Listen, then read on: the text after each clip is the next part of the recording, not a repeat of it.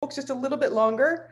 Um, so I'll start off by just welcoming everybody to the San Francisco Dharma Collective, AKA the year 2020 True Refuge Collective. Um, and just really delighted to be here in community, uh, in the Dharma, in practice with you all, um, as, as, I, as I feel every week. Um, I'm Eve Ekman, and I co-teach this evening with the incomparable Chandra Easton, um, and we often take turns either teaching one night or the other. Um, we'll be back together next week. Um, and we've been going through this classic set of slogans. And, and I like that word slogan. Um, they really are these kind of almost propaganda like uh, sentences that help us really identify and feel the resonance that words, words can be transformation right? Not only, you know, their individual meaning, but when we string them together, what is provoked? Um, I've been very moved by some of the benefits of um, some of you may practice with mantra or chanting, and you realize even just certain tones of word have a great amount of weight um, and transformative capacity. But the slogans, their intention is to provoke us and to provoke us to, as much as possible, release grasping and turn towards compassion. And we need to learn that so many times. We forget every day, all the time, what great freedom that creates for us. So these slogans in some ways are, you know, many different cuts of the diamond, many different ways to approach that same really simple wisdom, that transformative alchemical wisdom with different words, with different ideas, different ways we become completely absorbed within our own experience of ourself, and that we lose compassion, so essential for this transformation. So before we go ahead and get started, we have um, our announcements that happen at the beginning of our evening by our wonderful board and volunteers of the San Francisco Dharma Collective. So I will leave it to you all. Hi, folks. I'm Pamela and this is Mace. We help volunteer on Wednesday night. Um, so great. I think I just want to make sure that you guys know that there is there are lots of things happening at the Dharma Collective outside of Wednesday night, um, and that includes the morning sit.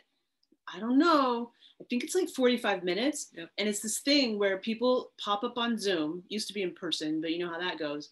They pop up on Zoom, and then there's a person who's a volunteer who rings a bell, and then you sit for like, I think it's 45 minutes. Maybe it's just a half hour. Unless, of 45. course, that's not working for you. And then you just, you get to opt on to the rest of your day whenever you want. And then they'll ring a bell when the 45 minutes is up to close. So that's kind of nice because, I mean, I think, because sometimes it's nice to just sit in silence without any instruction. Um, and also to sort of stretch out in the container of meditation a little bit. So just to add that for folks um, might find that interesting in the morning it's 7.30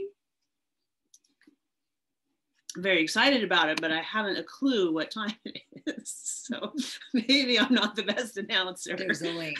There's a link. um, Katie put a link in the chat. Thank you, Katie. That'll show you more about that event.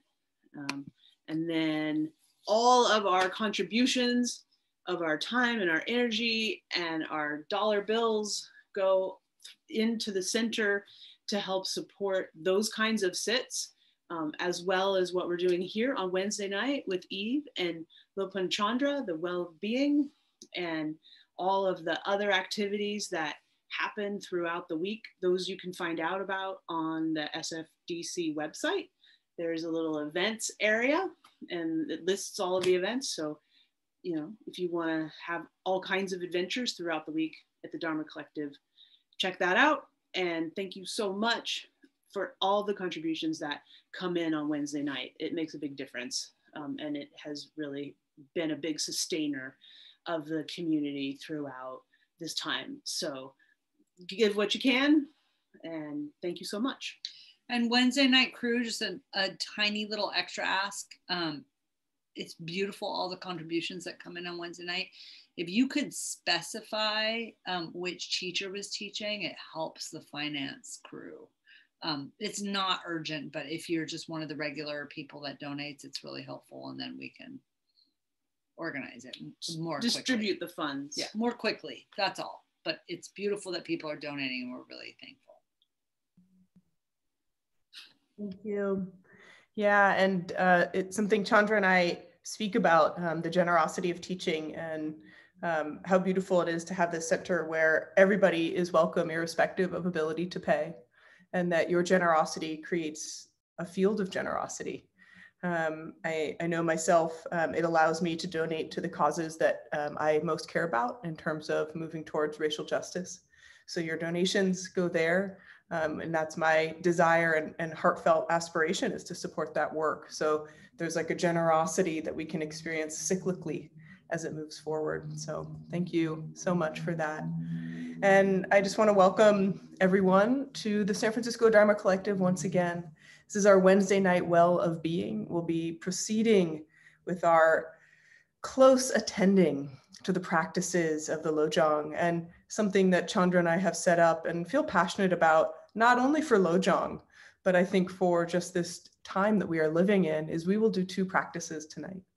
We will start off with the practice of settling the mind and creating space. It's an essential way for us to develop that meta awareness to know our own mind to have some close intimacy with what is going on as our thoughts, feelings, and sensations are traveling through and develop that quality of easeful and vivid attention. We will then talk about the slogan and then apply a practice of compassion to ourselves. So, as much as that wonderful capacity for sustaining attention and openness is essential, we also need this other wing of the bird, this ability to have compassion for ourselves Tonight, the flavor of our compassion for ourselves will include a lot of self forgiveness.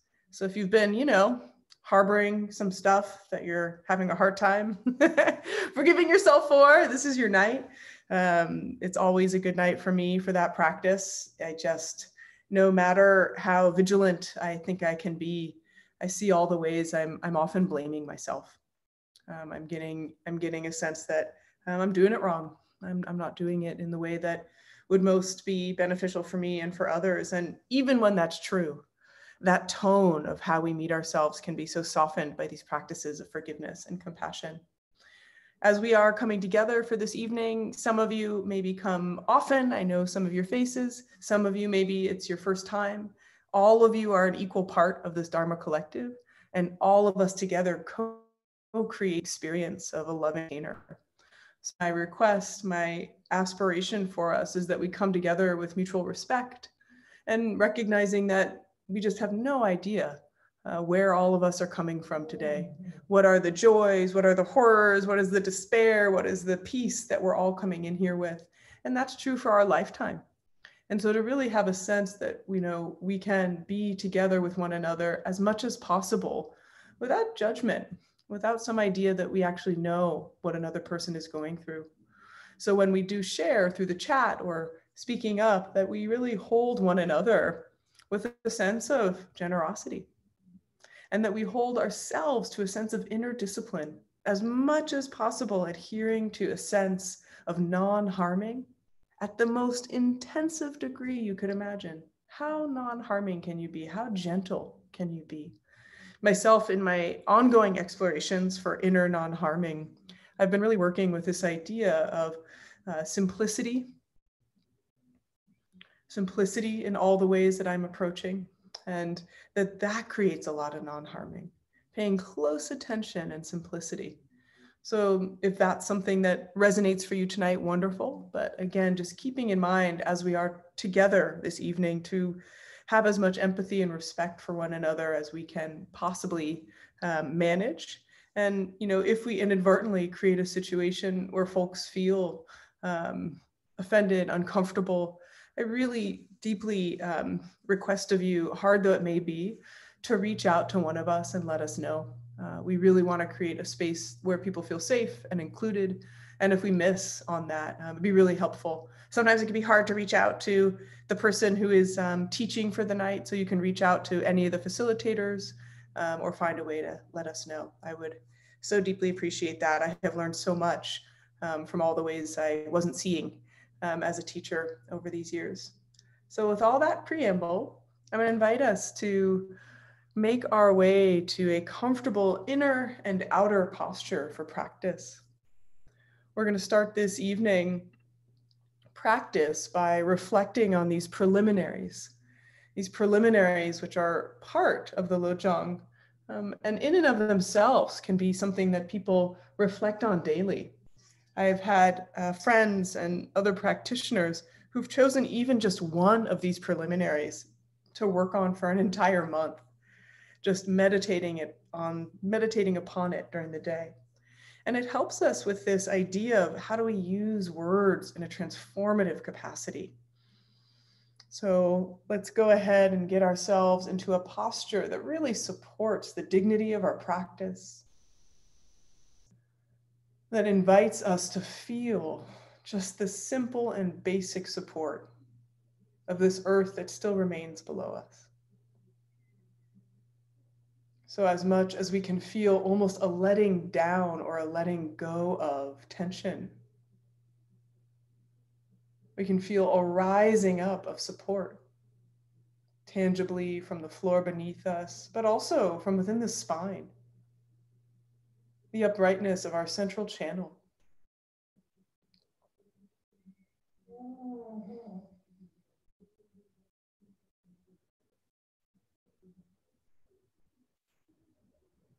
And find a softness in the eyes and around the jaw and the lips.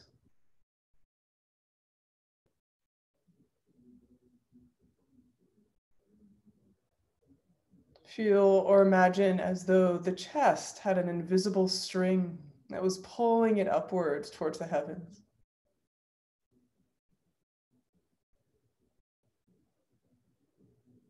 Find a softness, an openness in the belly, inviting the breath to fully fill the space of the belly.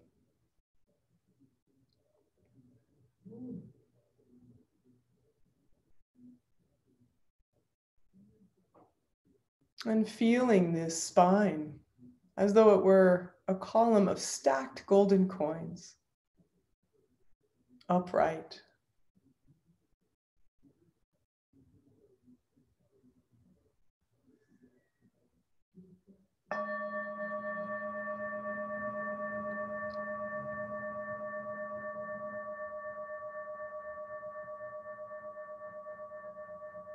And so, leading us into practice, we reflect on the first of these preliminaries.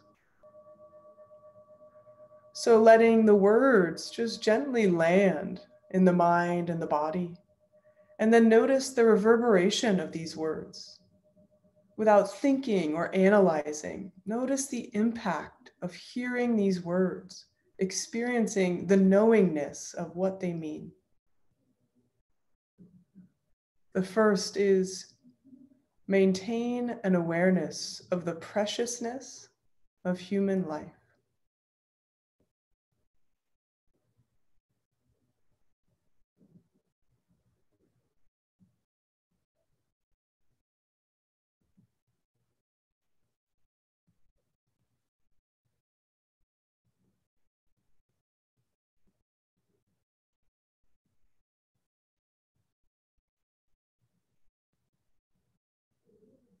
And now shifting to the second, refreshing your embodied awareness and readiness. Be aware of the reality that life ends. Death and impermanence comes for everyone.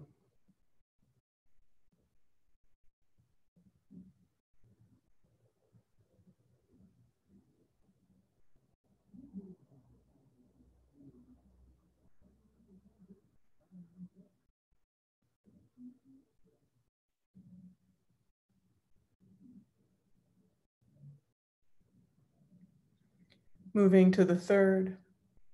Recall that whatever you do, whether virtuous or not, has a result.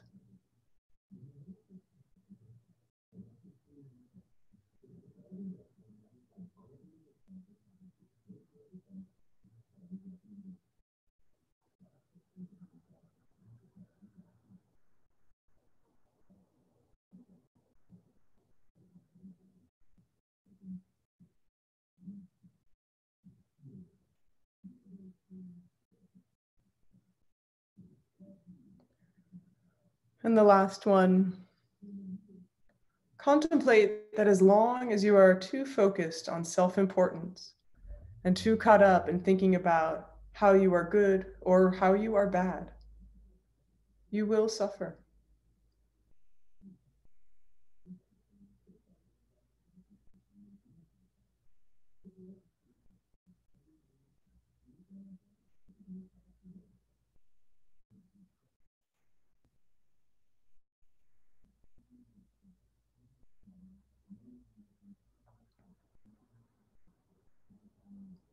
And with hopefully the motivation that comes from reflecting on these basic preliminaries,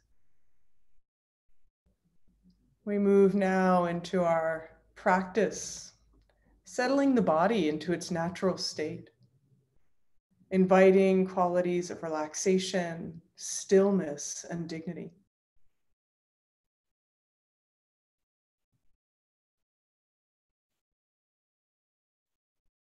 Allow your awareness of the breath to be throughout the body, experiencing the whole body breathing from within the body itself.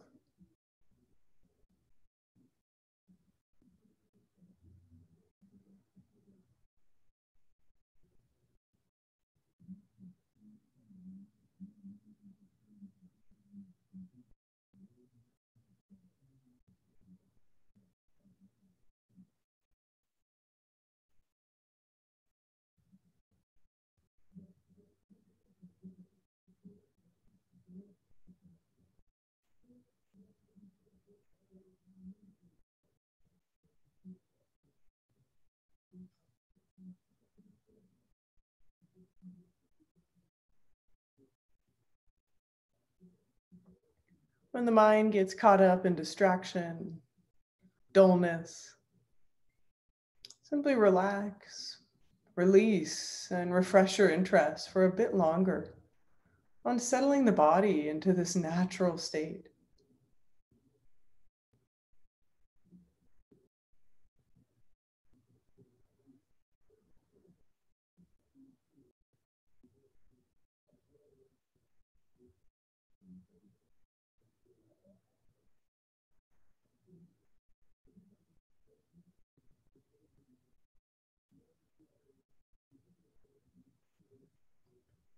And then inviting the inner narration, our inner speech, also to settle.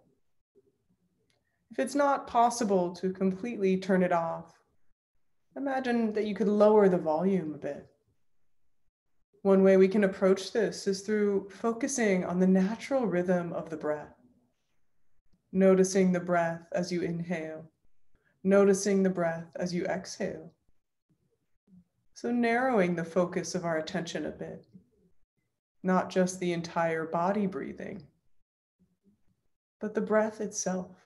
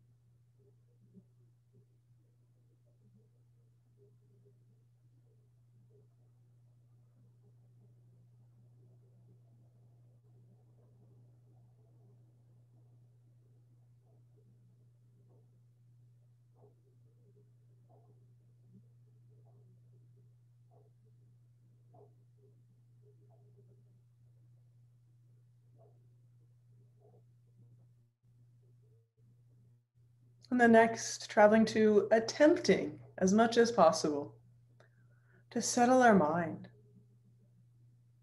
to release grasping, release distraction, sustain an awareness in this present moment, breath by breath by breath.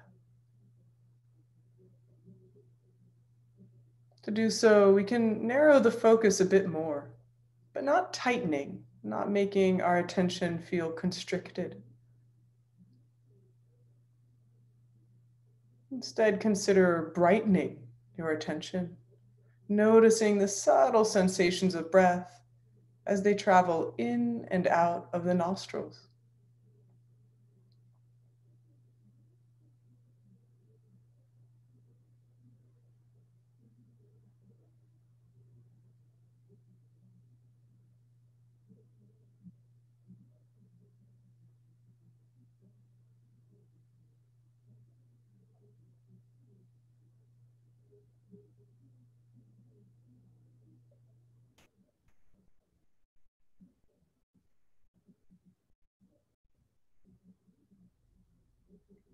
The mind is so busy, just full of distracting thoughts, grasping to the future, traveling to the past, see if you can engage with a full body relaxation, not changing or shifting anything, not slumping your posture, but imagining as though the body and mind from the inside out could just release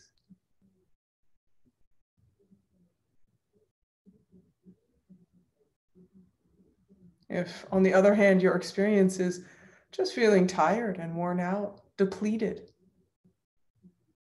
invite the entire body and mind to refresh.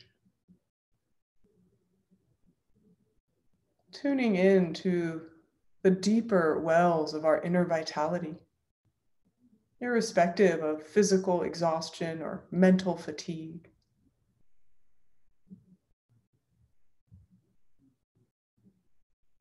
Feel that unperturbed well of deep vividness.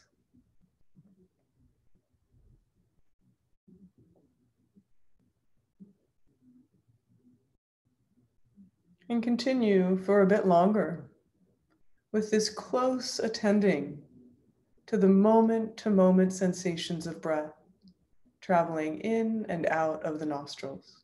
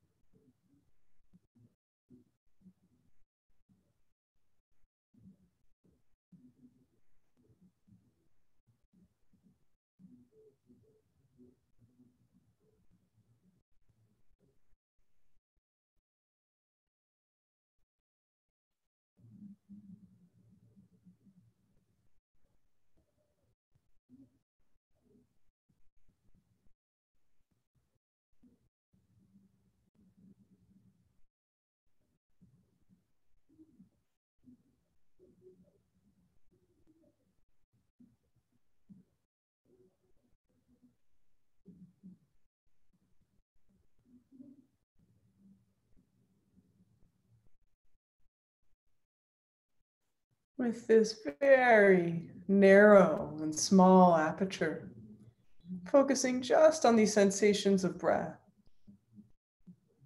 We invite ourselves to shift, to widen that aperture, including more and more spaciousness. Instead of directing a single beam of attention to sensation at the nostrils, Feel as though your attention was mingling with the entire space of the mind.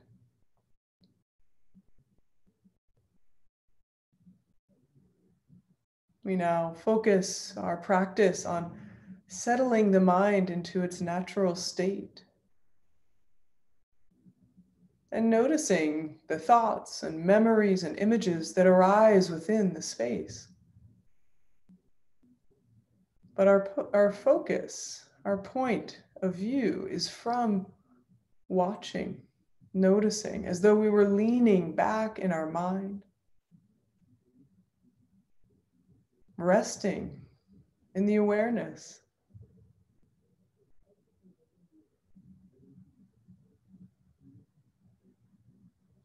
In this practice, we don't need to push thoughts away. We don't need to deny them but we don't engage, we don't energize.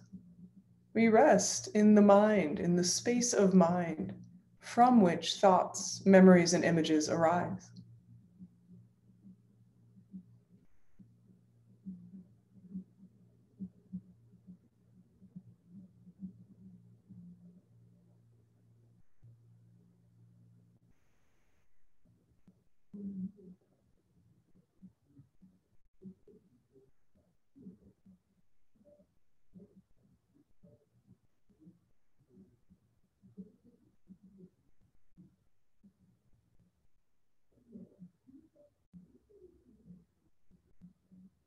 Some of us, this practice will immediately make us feel spaced out. In this case, you can practice by bringing a specific image to mind. You could, for example, imagine a redwood tree. And just as that image arises, notice where it arose from.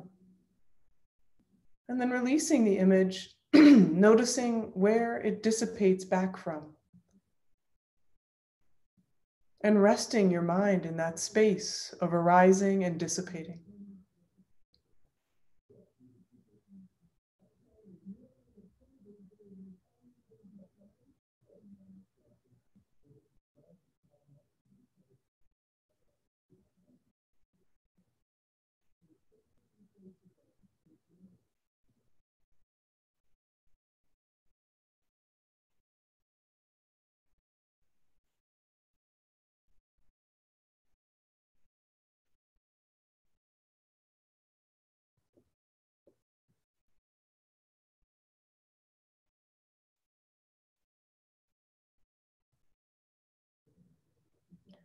You may catch a glimpse of the spaciousness of mind between thoughts.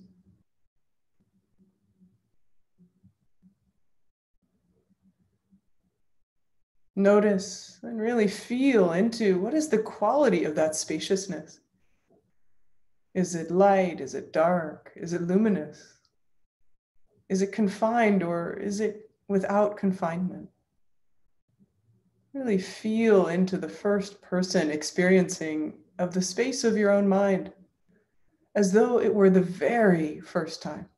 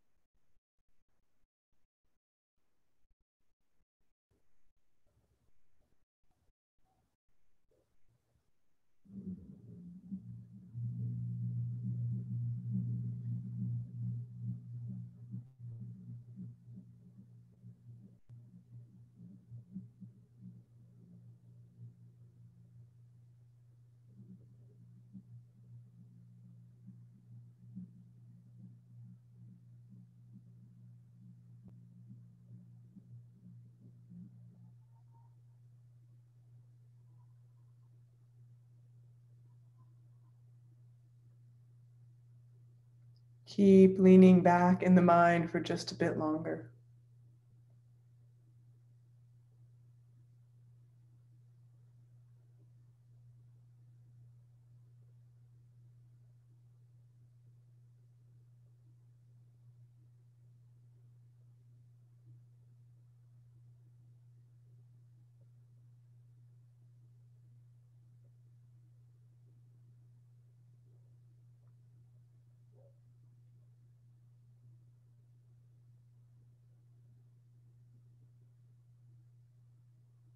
And for the last moments of this practice, gently allow the eyes to be partially open.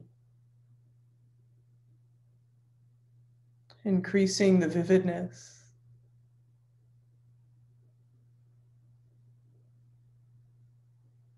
Softly focused.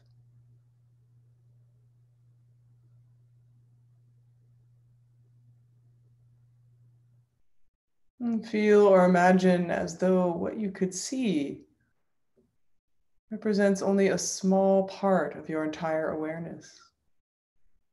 The awareness is not just in front of you, but above you, below you, and behind you.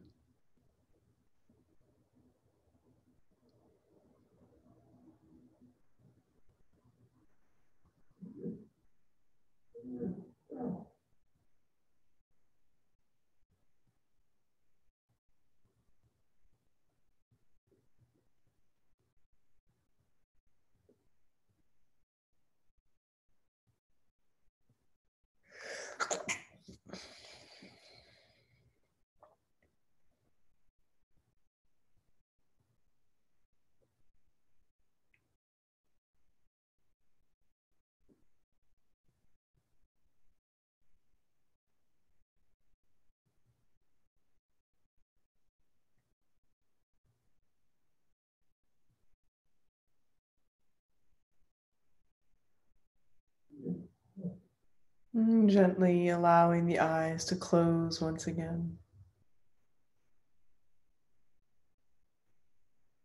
And mm, bringing the awareness fully back into the body.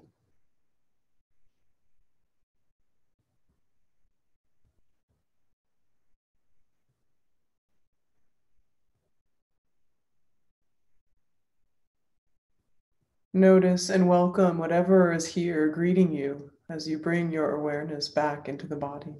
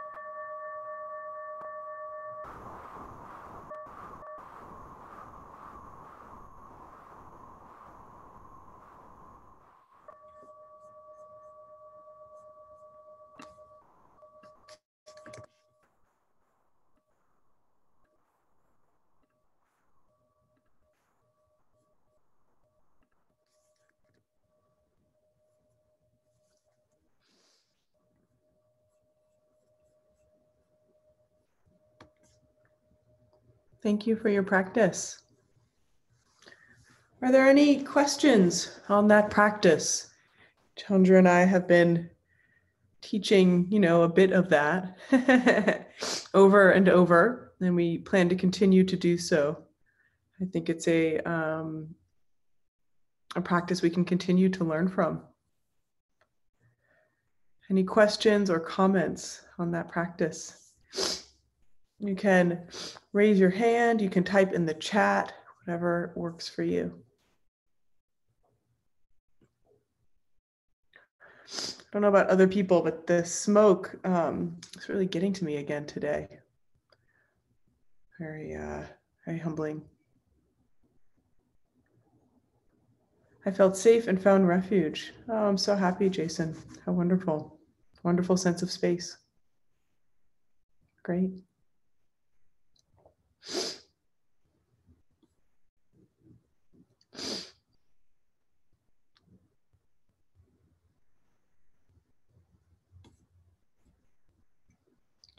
Anybody else?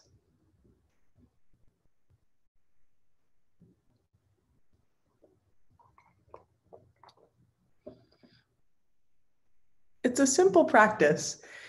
I'll say one or two more things about it. Um, it's a great practice to, that can prepare us to move into more non dual practices. So we're really presenting ourselves with the opportunity to create the awareness of being aware. right? So right now we're we're creating the awareness of what are these thoughts? Where are they? Where are they coming and going? What are they like? What are the qualities of them? And we're kind of like starting just little bit little bit. What is it like in between those thoughts? What is the space of awareness? In these non-dual practices, some of you are very familiar and some of you maybe not so much, um, they really provide us this unbelievably unique opportunity to let go of our egoic identity project. Because we are no longer kind of identifying and naming and evaluating what's happening to us. We are just what is happening to us. It's really hard. it's really hard to get there. It's a difficult practice.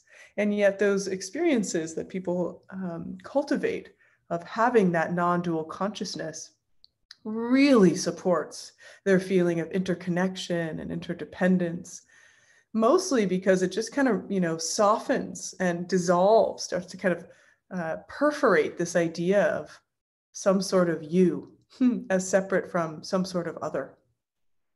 And so the practice is not only do they kind of you know at a at a at a sensorial level they get you kind of high. You feel like this wow like wow. Really space and an um, often kind of luminous nature. But the real benefit is that feeling of not being separate, not being different, not being um, anything other than in the flow with reality as it is, which is, um, yeah, quite refreshing. Yeah. Hi, Marianne. Um, thank you for the sit. Yeah, after watching the VP debate, it was nice to let go and come to a safe place for grounding and calmness. Yeah, it's really, you know, I think, especially, you know, for those of us, you know, cultivating our practice, cultivating our hearts and minds, when exposed to the intensity of something like those debates, it can be a just like, like just energetically, um, it can feel quite heavy um, and quite intense. And coming home to our practice is so yeah so wonderful. Yeah. Any other i don't know if you guys also have this too but sometimes i, I was, had the good fortune to be on retreat this weekend. Um, so i got to kind of uh, you know as they say part the veils a bit between uh, the divine and uh, what is eternal what is our kind of universal um, beingness and then the everyday conventional reality. And in sometimes what happens in those re- retreat experiences, for me at least, and I've heard for others, is you see the way that we live our life a little bit like a show, like this big act. Um, and it's kind of funny almost, like you can laugh a little bit. And I watched the first part of the debates with my dad, and I kept having the sense of, this isn't real, is it? No, this isn't really happening. This seems not real um, which uh, I think could lend itself to some dangerous at places at point. But for me, it was nice to have a little bit of that levity uh, in that experience. Yes, thankful to have the well-being after the debate. Agreed. And as I, I mentioned, I I actually think that this slogan, which I'll put in the chat now, um, is truly the antithesis of the debate. It's the opposite. It's not the remedy or antidote. Um, I do wish that um, Mike and Kamala were joining us this evening. I, I, I, think that they would find this useful and enriching and a different approach. Um, and for those of you maybe just joining or who haven't come, these Lojong slogans, uh, which have been passed down for um, many, many, many generations, are pith instructions, not by the Buddha himself, but pith instructions in how to transform our mind. And each one of these slogans, we spend a night kind of working with and applying. How is this relevant to my life? Um, and so I'm curious for you all. Drive all blames into one. What does that, what do you think of? What does that mean to you? Um, this was one of the three slogans that I taught at the former Against the Stream after the election. It is one I think can be just unbelievably um, interesting to look at, but uh, especially in, in related to high intensity political experiences. Drive all blames into one. Any thoughts? Any any guesses? What does that mean when you hear that?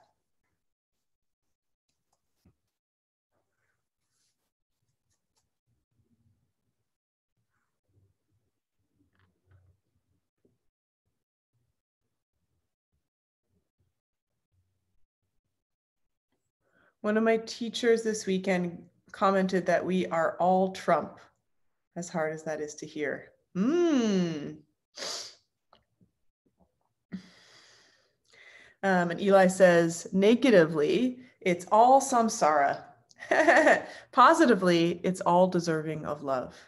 Hmm. Thank you, Eli. Yeah. So driving all blames into one.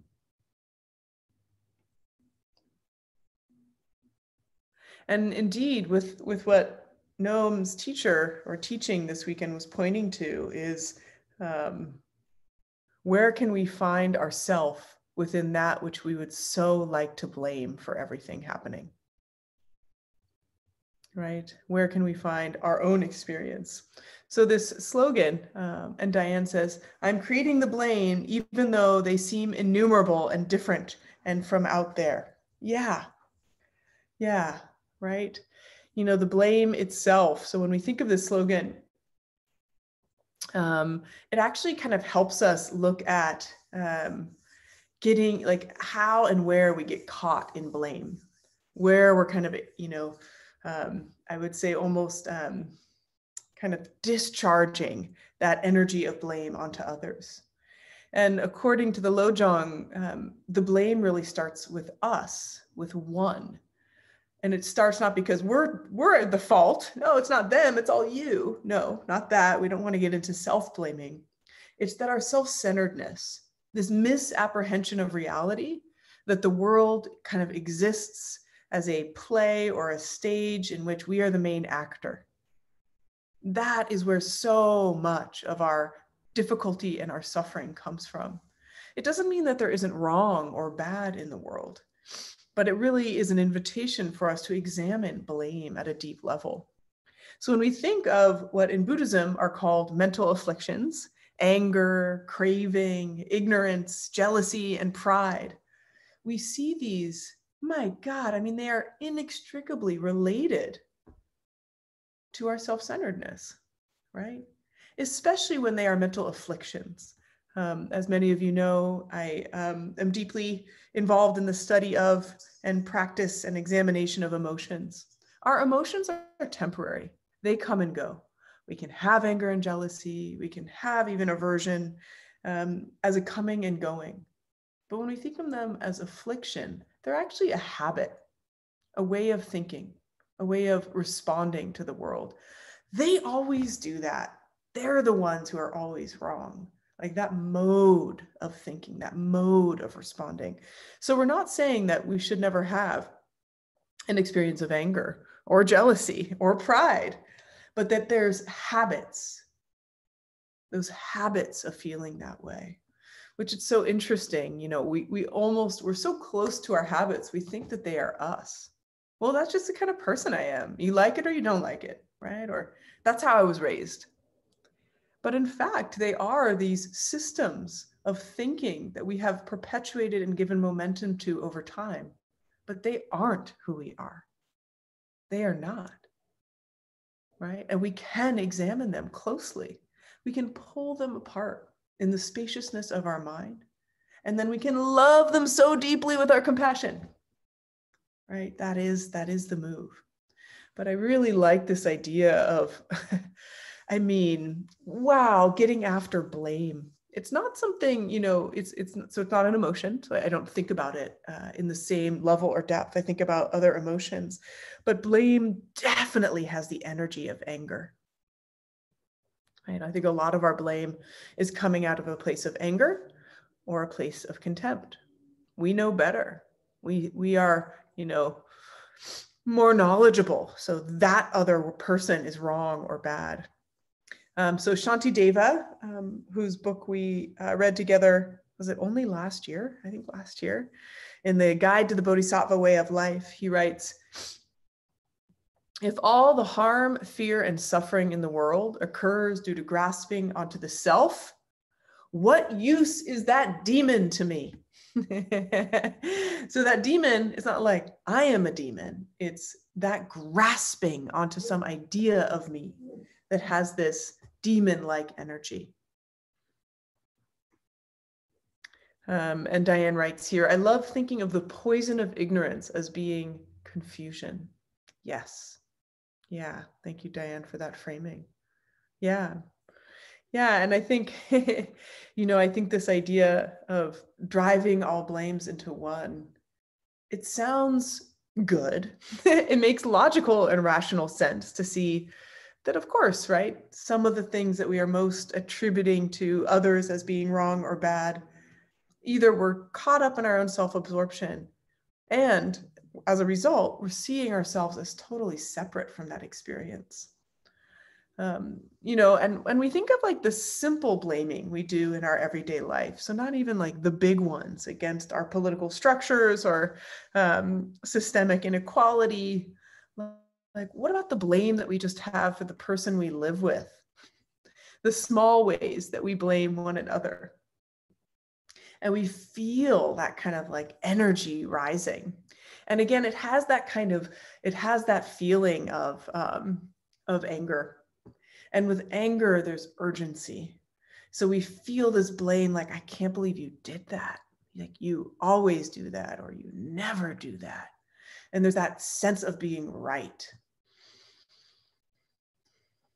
and that sense of being right again it's predicated on the fact that we know better because we have positioned the world in relationship to us as, as opposed to positioning the world in relationship to everybody involved. A obviously very different set of circumstances. I also want to bring up that when we think about driving all blame into one, especially right now, oh, here's a good time for me to plug myself and Venerable Tenzin Chogkyi, the most amazing, um, one of the most amazing human beings on the planet. We are teaching a um, a three hour session on shame woohoo, on Saturday afternoon. And uh, you should definitely join us. Um, and when we were kind of planning the session, we were talking about the unbelievable um, amount of shame going on in social media right now around the pandemic. And there's been some recent coverage and news articles around um, people who are blamed to be super spreaders. And sometimes that's true. And they did so you know, in a hazardous way. Many times it's not true. Either they didn't know or they didn't spread. But that culture of shaming is experienced at such an intense level. I mean, imagine having literally hundreds of thousands of texts and messages coming through your Facebook, people calling your home, right? Shaming you um, it's it was in one article I read in the New Yorker. It was compared to you know these puritanical approach to putting people in the stocks, right? So you did something wrong, and you get put in the middle of the town square, and you're kind of bound in this wooden plank. Um, so this culture of blaming and shaming, it actually doesn't lend itself any opportunity for repair and forgiveness, which are so deeply needed. We live in such a large society and culture that we can feel as though people in some ways are kind of um, you know um, what's the word? Disposable. But if we lived in our society that mirrored more of our environment of evolutionary adaptedness we couldn't actually cancel people right? We couldn't exclude them. Every person was needed for our survival. So there was methods in order to have people be able to um, kind of be held to standards of um, restorative justice and coming back into the fold of their own communities with healing, with forgiveness. So I just think about the destructive power of blame now in this enormous arena of this connected world that we're living in. Um, and I'd be, yeah, I'd be, I'd be curious to hear from you folks what that brings up when we think about this specific era and epoch we are living in, and the way in which blame and shame is just at a what feels to be like. I mean, I don't know. I am not a historian. I haven't lived in other eras, but wow, it seems like a really hard time for us to be existing with one another and avoiding um, blame and shame at that public i mean not saying that each of us is experiencing that but it's such a it's such a public hazard right Um, I look even at a small level, but I don't know if any of you are on Nextdoor. Is on Nextdoor. Do you know that? It's a platform where neighbors get together to communicate. My God, I think it's like a full blame platform. It's like a shame show. You know, I mean, it's, oh, I look at it, it's like slightly entertaining, which is also a problem. Um, but it is vicious. You know, you post something you think is so harmless, like, I love my cat, and people are just like tearing you down. Um, it's like, it's a really it's a really hard time um, in our culture and our society to understand how do we be together online. And in this pandemic most of us are living our social lives online. Um, so um, yes thank you diane for sharing the link. And jason says blame and shame leave no leaves no room for grief. Oh that's really interesting grief of the person who's being blamed or grief of the people blaming? Maybe both?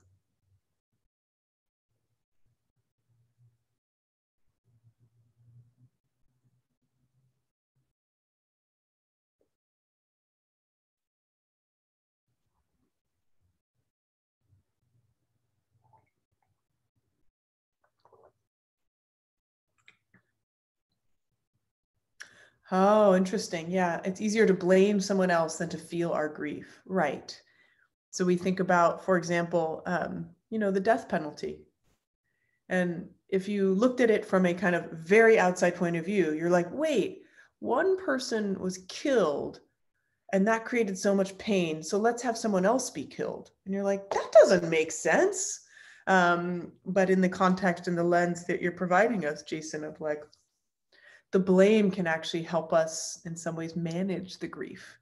And grief is, or sadness specifically, is an emotion in which we feel disempowered. And most of us would rather feel almost anything other than disempowered. So we go to rage or we go to shaming. Um, yeah. Isn't blame sometimes rooted in fear? Heck yes. Absolutely. Yeah. So it can be rooted in sadness, can be rooted in fear, right? And again, I said that some of the emotions that can lead to blame are contempt, but also fear, right? So again, in this very, God, it's just such a confusing time. I don't know if any of you like know people who are traveling on planes, right?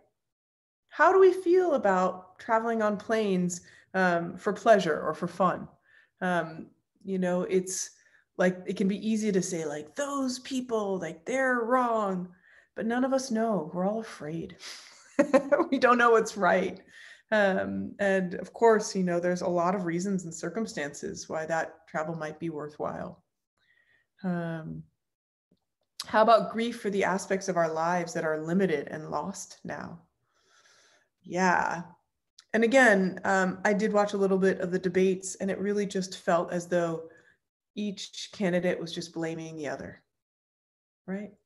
You didn't do enough. You don't care enough. You didn't, and um, yeah, it was. It wasn't really making a lot of space for grief. It wasn't really making a lot of space for wow.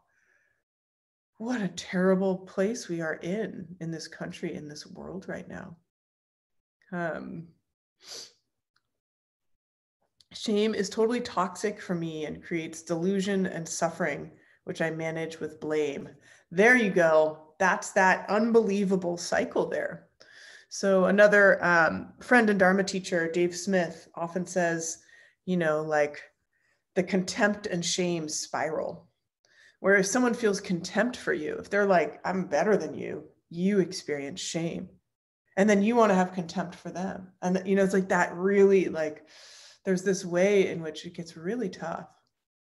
It gets really tough. And, you know, as with all of these teachings, how do we apply them to ourselves first? How can we exercise them to ourselves first?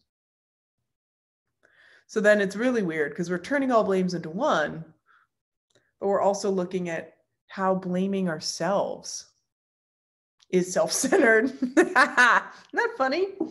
Blaming ourselves is self centered. And it's um you know it's it's this it's funny because we often think of self-centeredness as the arrogant and aggrandizing. But self-centeredness is also feeling as though we are worthless and no good. You're still at the center right? You're still at the center.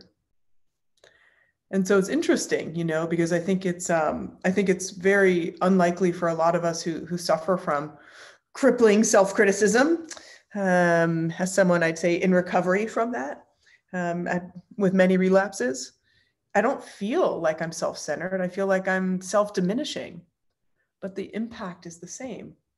Again, my focus is so much on me that I'm unavailable to others.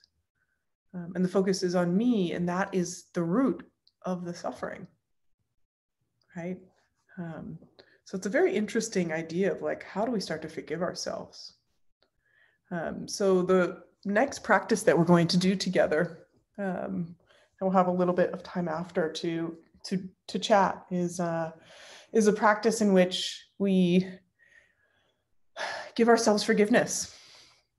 Give ourselves forgiveness for the times in which we may have contributed to inadvertently harming ourselves or others through self absorption.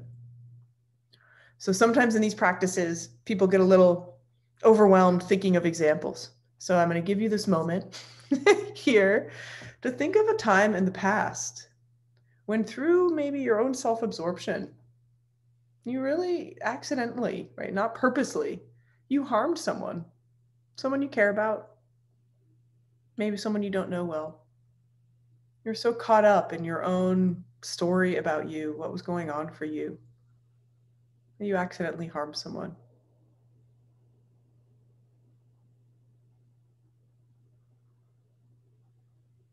Can everybody think of an example? If you can't, I have some to spare you can work on for me. you know, I, I, think of, you know, I think of myself also one example without giving too much detail was um, a time when I was was really stressed out um, and really lost in my stress. Uh, I was transitioning jobs and I just felt overwhelmed. Um, and you know, I um, I don't think I made space for a friend who was also suffering. I didn't realize it. I didn't realize what she was going through because I was so caught up in my stuff. And her being an amazing caretaker, listened to me, held it for me. Um, but I really, you know, I think it I think it harmed her, you know, and felt like I wasn't there for her. And so I, I am I am thinking about that still years ago but still. Um, so that's an example. So everybody have an example now? Something come to mind? Okay. Doesn't have to be the biggest thing. Can be something small, but something that really, you know, you're like, oh yeah. Don't love that version of myself, right? Or I don't love that way of being that I was in. Okay, so let's find ourselves back into our meditation posture that inner and outer dignity, as though we were kind of gathering back in all this attention.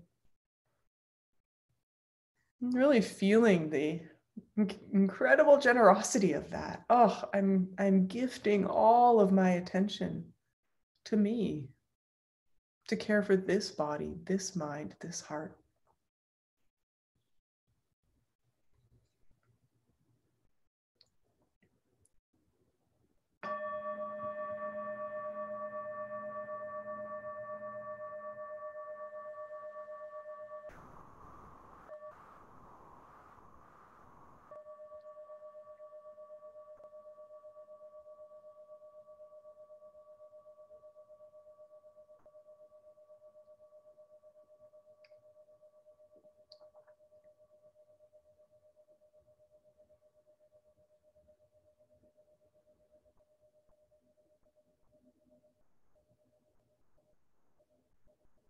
Let's begin this practice of compassion and Tonglen by applying a Tonglen to just this present moment. Noticing what is here in this current environment that may feel a little difficult, This could be the presence of fatigue. This could be the presence of an ache or pain, physical or mental.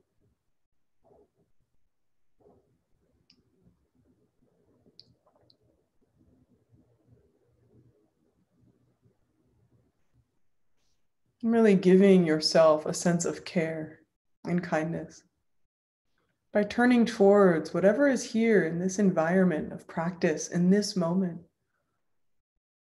that wants your loving and caring presence.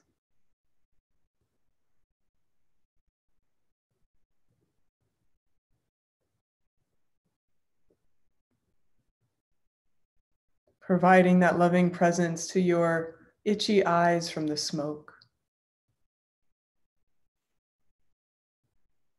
to your heavy heart from the state of the world.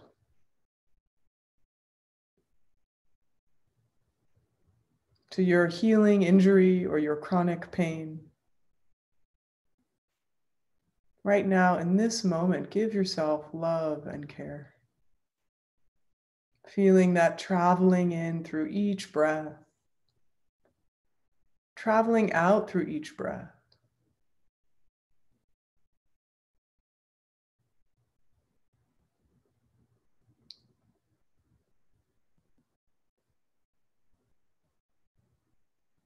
Loving fully whatever is here.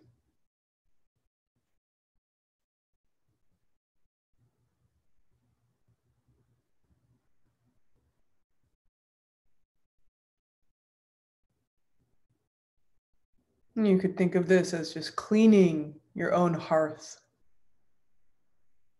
rubbing the dust off the gold of your heart.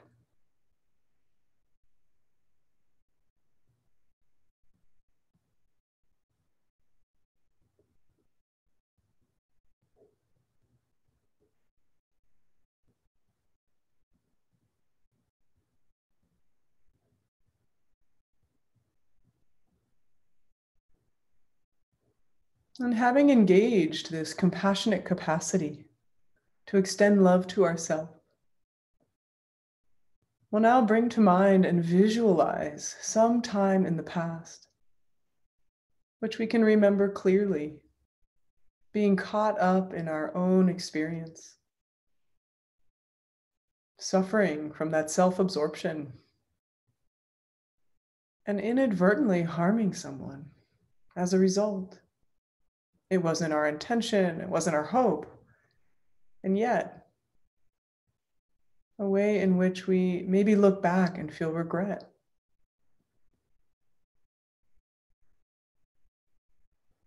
So bring to mind vividly, but simply, what was happening in this experience?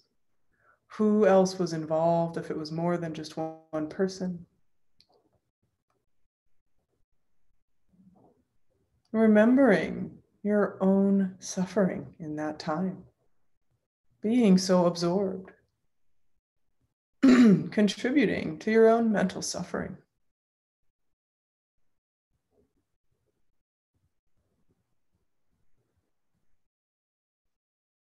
And right here in this moment, retrospectively, sending compassion to that time to those thoughts and those feelings,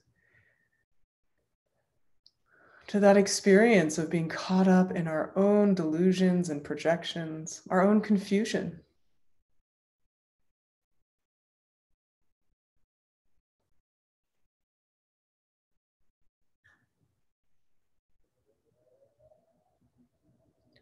Notice if you slip into blaming of yourself and delicately and gently pull out from that. And instead, wrap these arms of compassion around that past self, providing the soothing and care that wasn't available at the time.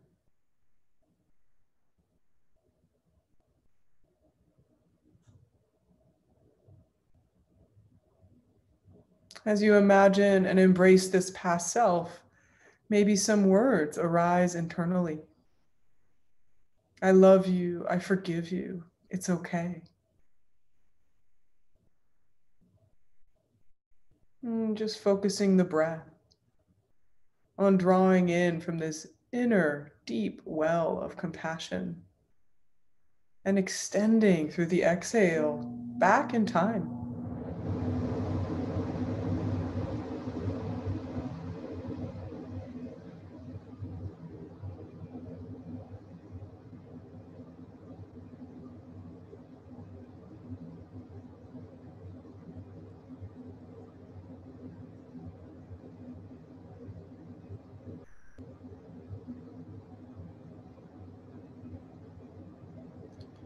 From this place of understanding and love, from forgiveness and compassion for ourselves, we extend that compassionate care to the person that we inadvertently harmed.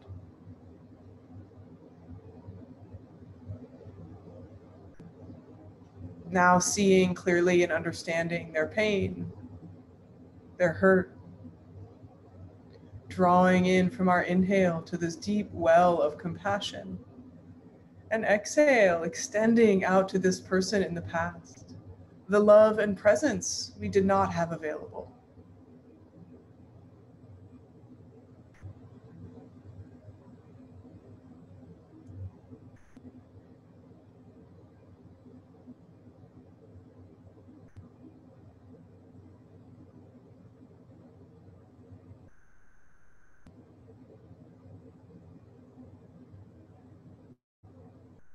Couple more breaths here.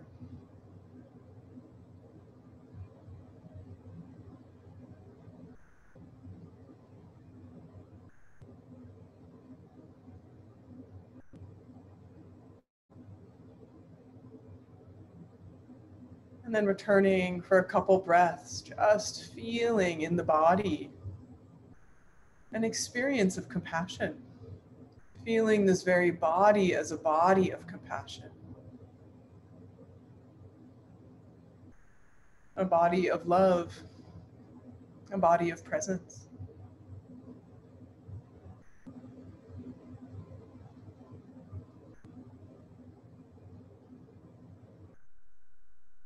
Now, taking a moment to come into the present moment of our life, our current lived experience.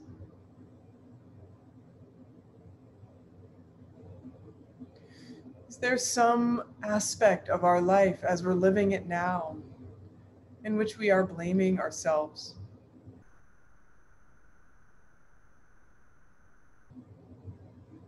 In which we are caught in that self absorption of thinking we are wrong and bad. See what arises. It doesn't have to be a very clear or specific, but if there's some recent example or some repetitive way of responding, turn towards that. Soberly and clearly see that pattern.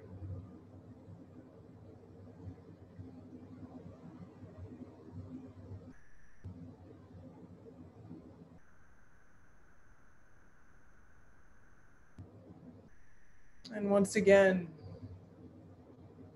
in this moment. Sending your heart's arms around you. Embracing that pain, that shame, that self blame. With unconditional loving kindness, compassion, and care.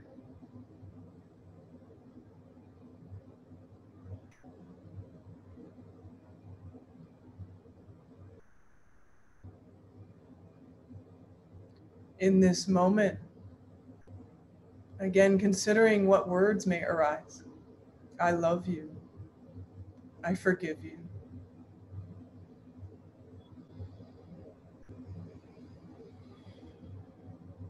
Allowing the breath to really dredge up these feelings of blame And extending this sense of care and compassion and kindness to ourselves right here.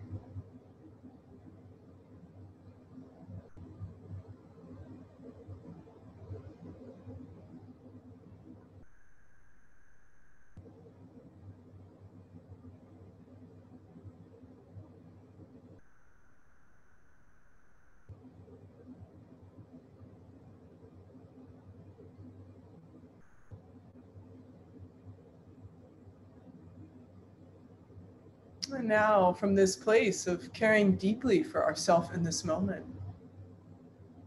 consider is there a person, maybe someone you know, or maybe someone on the world stage, for whom you hold a great deal of blame right now?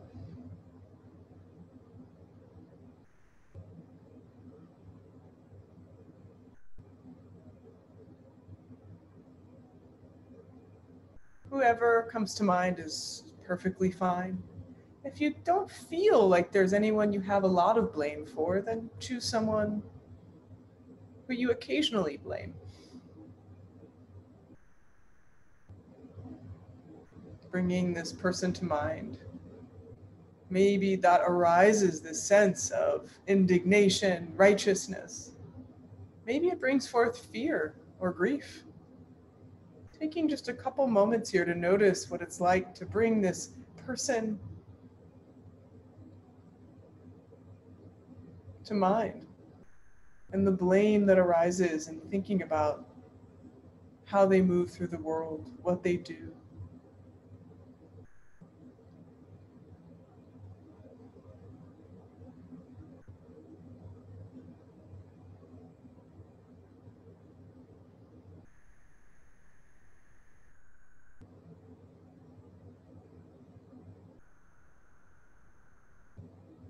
And then radically, heroically, considering is it possible to forgive this person? Not their actions, but this person. Notice, even in the body and mind, what it is like to entertain this idea. Just be with that.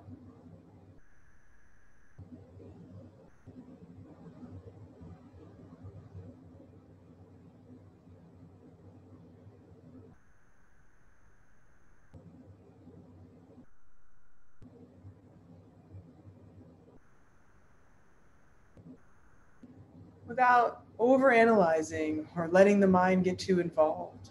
Just practice.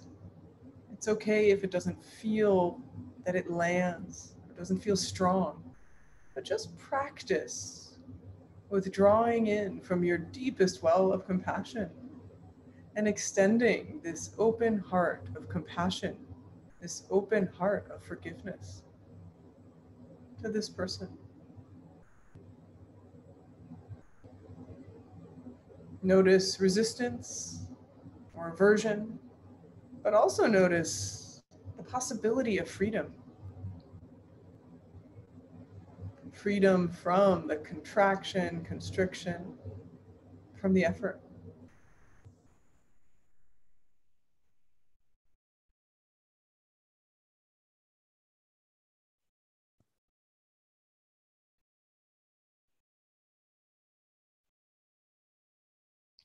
If it still feels hard, you can imagine this person as a baby.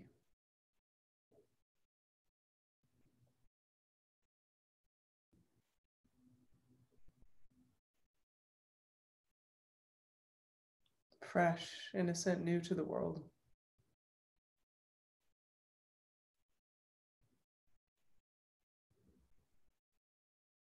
Just a couple more moments here.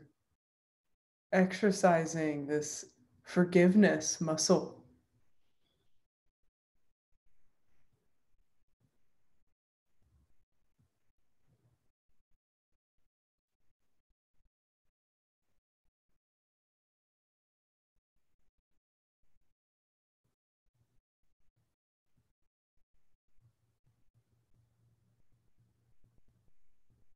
Hmm, gently releasing this person from your mind. And just coming back to breathe in and breathe out. The feeling of being this body of compassion.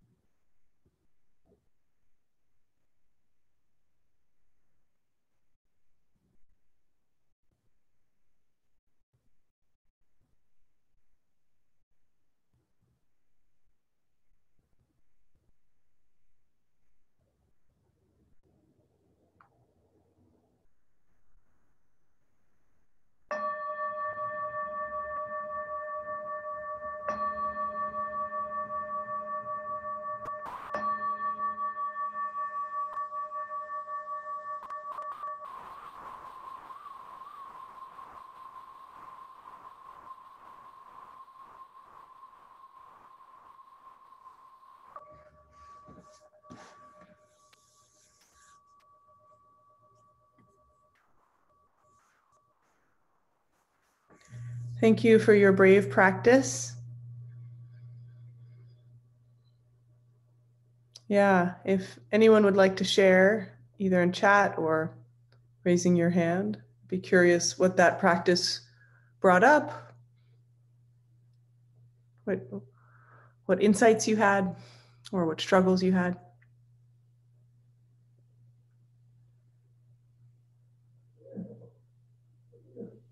Thank you for this. It was so timely. I was in an accident last week um, riding my bike, and someone's dog got out of control and leaped up and a pit bull mix and just grabbed my thigh.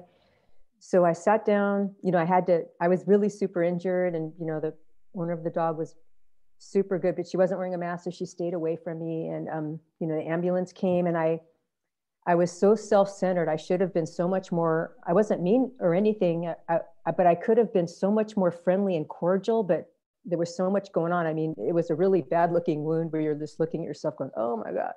Wow. And um, so I'm going to call her and make an amend. But um, this was so healing. Just the, the idea that I could, for you know, I did my best, and anybody maybe in that situation with a huge piece of their body hanging off and a little puddle of blood and kind of the shock of it would have been in that situation but i just felt i feel badly because i feel like all this mind training and it, it where to go you know? So it was just a, a blessing to be able to to say you know what? You're loved you're forgiven you did your best. Yeah. Oh wow. Dan i'm so happy that you are um, healing and got the help you needed. That sounds really um, wow, really, it's the last thing I worry about riding my bike. Yeah, yeah. And then you know what's great though is I'm going to have this big gnarly scar for life that can remind me of that. You know that that whatever the situation, even if I was dying, I should have been, you know, mm. reached out the hand of friendship. Yeah, yeah, and and you know, I, I I do think, especially for practitioners, this is such such a slippery slope, right? Because um, survival mode um, is our, you know, our evolutionarily um, kind of circumscribed response. And when your physical body and psychological well-being are threatened in that moment, sure, we can lose our mindfulness and compassion. And we have the tools to retrospectively go back and repair.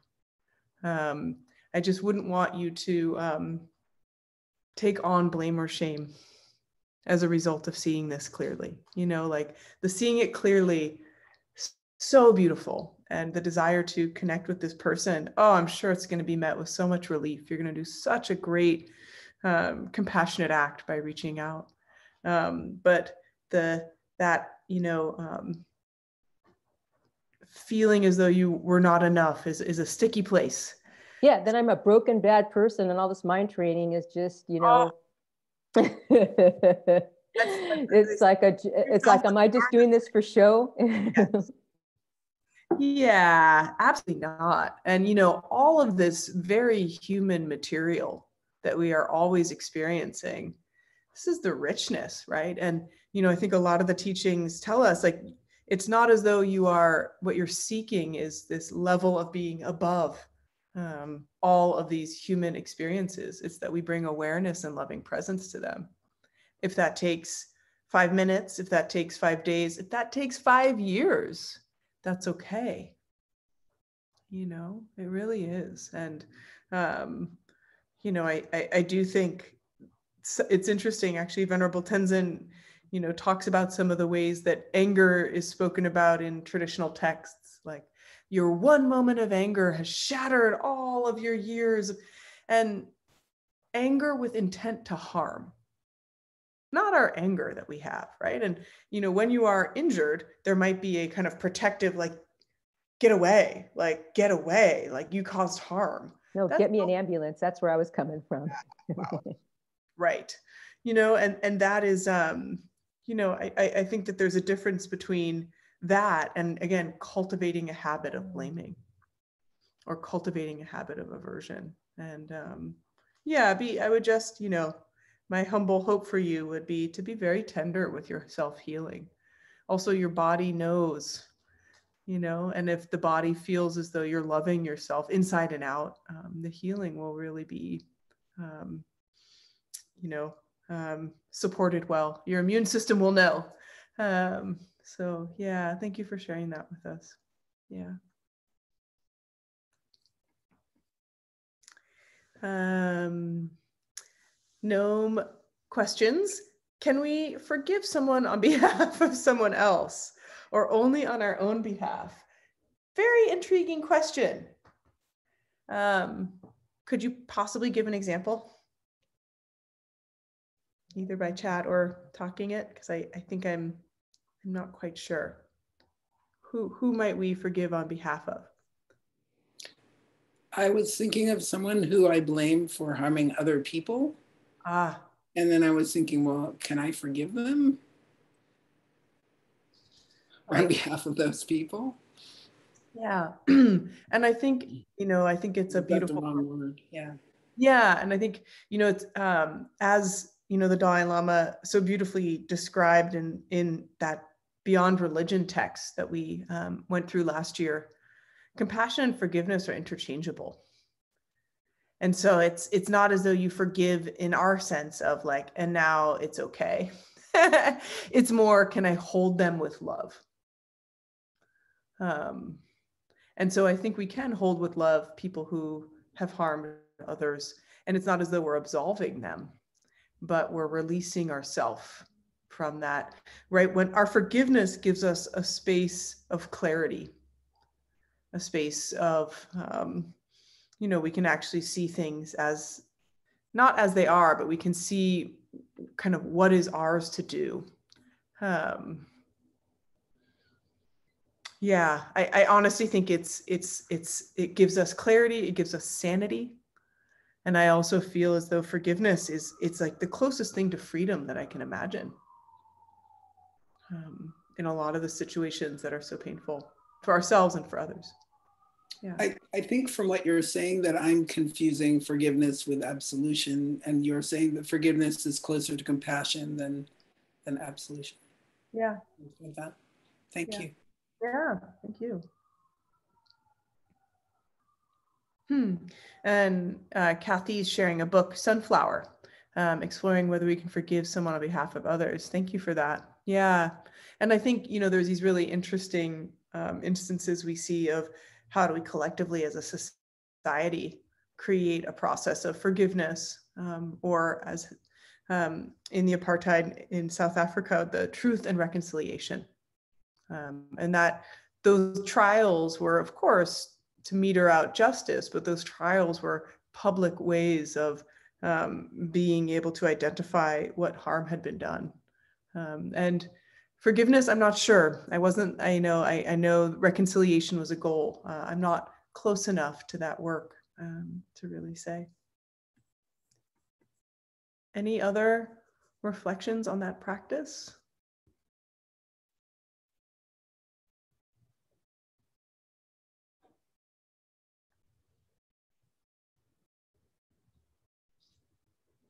I went for the vice presidential candidate for forgiveness, and it was him as a baby worked for me.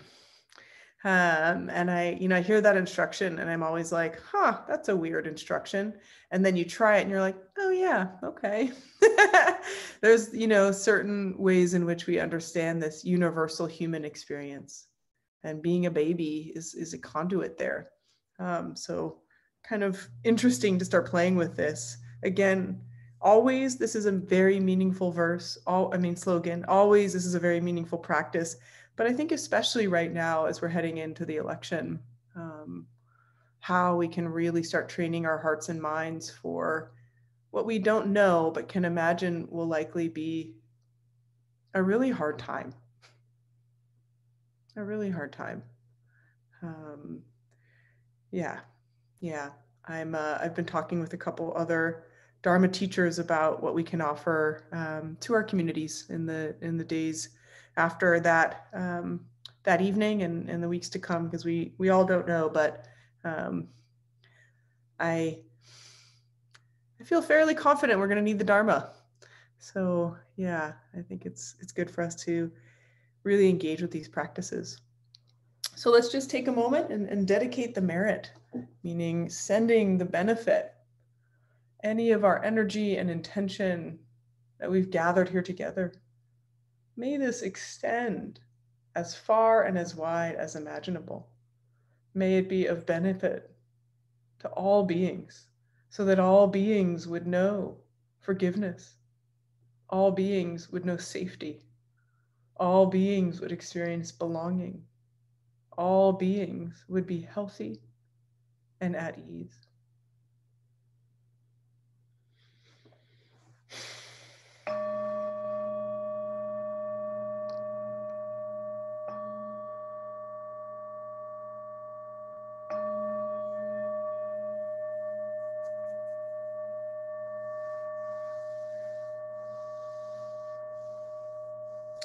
Nice to be with you all.